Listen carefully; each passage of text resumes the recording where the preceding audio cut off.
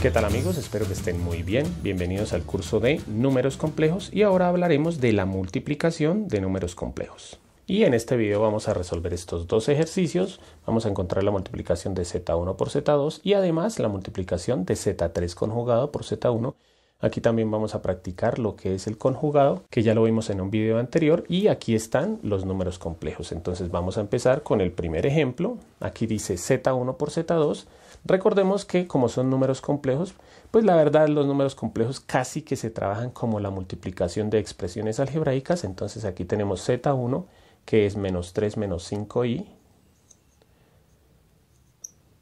Por ser un número complejo, o sea que tiene dos términos, hablando de álgebra, lo colocamos entre un paréntesis y eso lo vamos a multiplicar por el número z2. Entonces abro el otro paréntesis para multiplicarlo por z2 que es 7 menos 9i. Como les decía, esto funciona como la multiplicación de expresiones algebraicas, o sea, la multiplicación de polinomios. Acordémonos, tenemos que acordarnos de dos cositas. Primero, que la multiplicación de polinomios se hace todos los de un número por todos los del otro, o sea, multiplicamos este menos 3 por los dos números del otro, o sea, menos 3 por 7 y menos 3 por 9i. Y lo mismo hacemos con el menos 5i, menos 5i por 7 y menos 5i por menos 9i. Además, debemos recordar para este tema que cuando tenemos i elevado al cuadrado, eso es menos 1, que también ya lo vimos en otro video, pero tenemos que recordarlo. Entonces vamos a empezar, hacemos la multiplicación, como les digo, como expresiones algebraicas, como si esa i fuera cualquier otra letra, la x o la a o la que sea. Entonces empezamos. Primero el menos 3 con el 7 y con el menos 9i. Menos 3 por 7 menos por más menos 3 por 7, 21. Seguimos con el menos 3, pero ahora con el menos 9i. Entonces menos por menos más y luego números 9 por 3, 27. Y como aquí no hay letra y aquí está la i, pues simplemente queda esa letra i.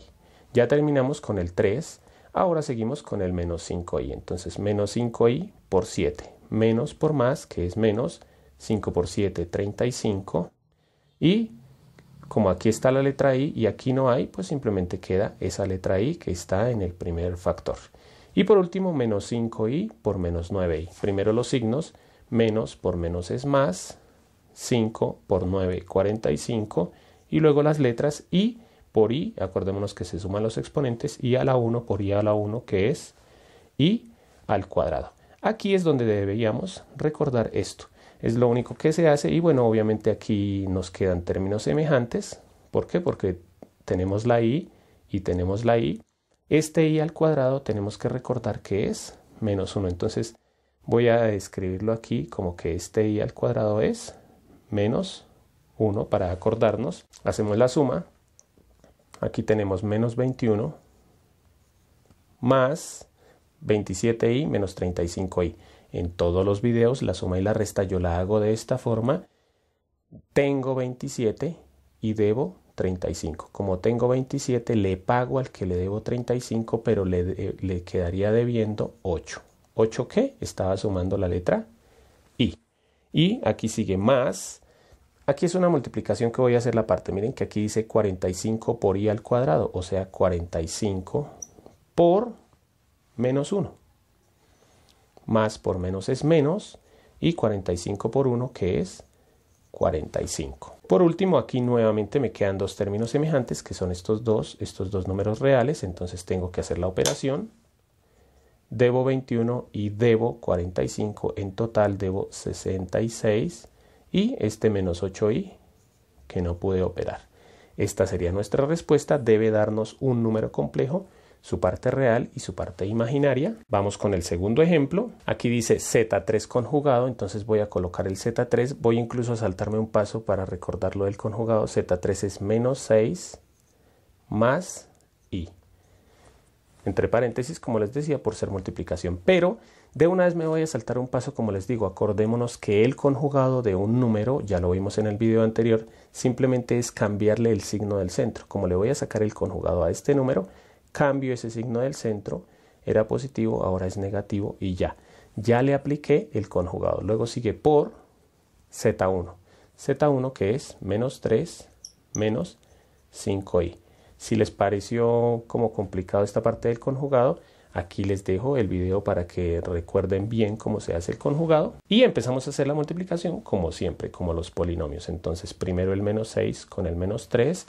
Entonces negativo y negativo menos por menos da más. No hay necesidad de colocarlo por ser el primero. Y 6 por 3, 18. Luego seguimos con el 6 otra vez, pero ahora con el menos 5i. Menos por menos que es más. Y 6 por 5, 30. ¿Cómo está la letra i? La colocamos. Seguimos con menos i por 3. Primero los signos, menos por menos da más. Luego los números. Aquí no hay número, pero ya se sabe que es el número 1. 1 por 3, que es 3. Y como está la letra I, aquí no está, entonces queda esa letra I. Y por último, esa I nuevamente, pero ahora con el 5I. Primero signos, negativo por negativo es positivo, luego números, 1 por 5 que es 5, y luego letras, I por I que es I al cuadrado. Aquí recordemos nuevamente que I al cuadrado es menos 1.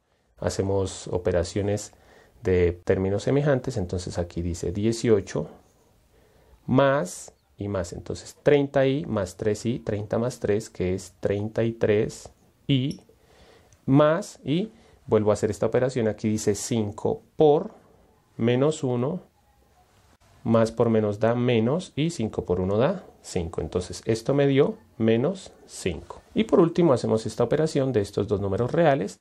Entonces 18 menos 5 que es 13 y más 33 y. Por último, como siempre, les voy a dejar unos ejercicios para que ustedes practiquen. Ya saben que ustedes pueden pausar el video, ustedes van a resolver este ejercicio y la respuesta va a aparecer en 3, 2, 1. Y pues aquí recordar que este i al cuadrado vale menos 1 por menos 9 da 9. El resultado es este. Bueno amigos, espero que les haya gustado la clase. Recuerden que pueden ver el curso completo de números complejos disponible en mi canal o en el link que está en la descripción del video o en la tarjeta que se encuentra aquí en la parte superior. Los invito a que se suscriban, comenten, compartan y le den like al video. Y no siendo más, bye bye.